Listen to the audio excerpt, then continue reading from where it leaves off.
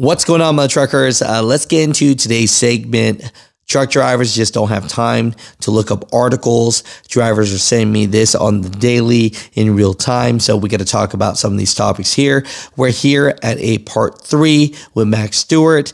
You know, we had Max talk about how he got stranded live. Next thing you know, the company responded. Now he's responding to that email. So that's a part three. I'll put that in the links down below. We did a full interview on that. Okay. Uh, they're not even here. This is why they're not coming on live with you. They're not even here. All right. They're staring at a whole nother continent. This and that. And the person that you work in for right now is that fleet manager. Is the former fleet, the former fleet manager to LIB Enterprises, David Medic. Oh okay. my Jesus! That's who I'm working for right now. Uh, second thing we covered two years ago, there was a truck driver parked at a facility in Colorado. Now, this driver was sleeping. This lady, not sure what was going on. She was throwing rocks at his truck. He showed her his nine millimeter and said, If you don't stop, I'm going to shoot you. And guess what? He did shoot her, right? Uh, the jury says that uh, he murdered the woman. It said he was not fear for his life, that he should have called the cops. So we'll talk about that a little bit. Uh, JB Hunt uh, post their big Q1 earnings, and it was a miss. So we'll talk a little bit about that so you guys see what's going on in the trucking economy, seeing if it's getting better or worse. But let's get into today's video. Watch this video that we did a full interview with Mac Stuart. You know, he tells his side and a lot of interesting things going on with that. So, you know, that's like a 40 minute video interview. So, links are down below on that. So, you guys check that out when you have some time. If you're driving, don't watch it, listen to it, and let me know. You know, the big part about that is, you know, the foreign trucking companies. You know, should you work for them? Should you not? I thought this was a great topic. You know, second thing, you know, we've been hearing a lot about truck drivers running into buildings and for various reasons. Now, this one right here that recently happened was not the truck driver's fault. It says semi truck slams into store after Jeep runs a stop sign. This happened out in Michigan near North Greenville Road. Right, the Jeep ran a stop sign and plowed into the semi truck that forced the collision that sent the truck driver into this Five Corners party store and pizza uh, Ria. So the thing is, is the Jeep driver sustained minor injuries in the wreck. The truck was not hurt. No one inside of the store at the time. So that's okay. You know, uh, Five Corners Party Store and Pizza says update. Everyone in the store is okay. Truck driver is okay. Please pray for the individual in the passenger car also involved. Unfortunately, no fresh pies for a while. We love you all. So overall, you know, we're waiting for updates on this, but one thing's for sure it was not on the truck driver. I know the DMV one was a very sensitive topic, you know, about a driver losing his CDL and then coming back the next day and crashing into the building and actually killing someone, right? And so that was super sad. But yeah, in this situation, the driver is okay and was not at fault. Now, the big one that we talked about two years ago, this was very interesting, you know uh, the jury found this truck driver to be guilty. It says truck driver murdered when woman who threw rocks at a semi truck while he was parked. You know, it says 44 year old John David Thoren III was convicted of second degree murder on Friday, April 12th for an incident that happened October 28th of 2022. Now, Thoren was asleep in his cab outside of a boot barn in South Park Road at around 2:30 a.m. in the county in Colorado. So, you know, he was woken up by a woman who did not, uh, that he did not know, throwing rocks at the side of his tractor trailer.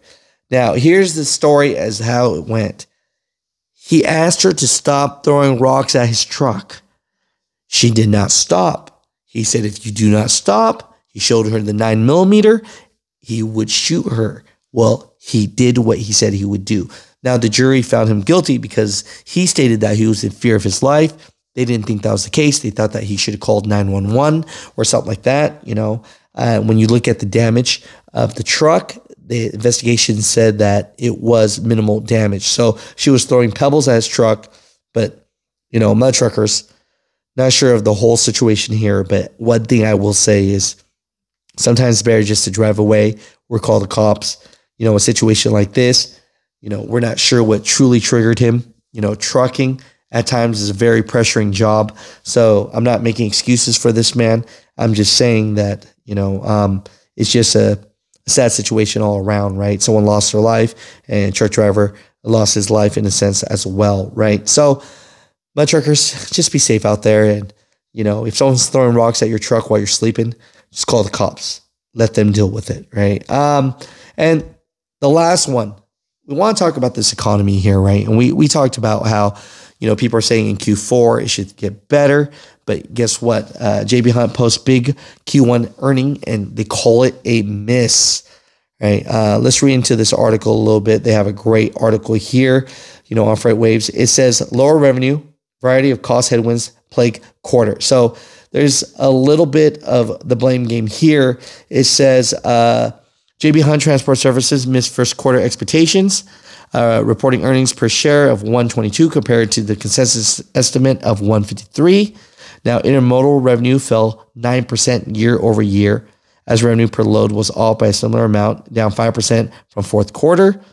Total loads were flat year after year, but 9% lower than in fourth quarter a 92.7% operating ratio, operating expenses as percentage of rev- revenue was 370 basis points worse than year ago quarter. Management called out weaker than expected demand and higher wages, equipment costs, and insurance premiums as corporates. Now, they said that management had their negotiations bid in February and said that in intermodal and truckload offerings were soft as well. Right. Um, brokerage unit reported a 17.5 million operating loss as loads declined 22%.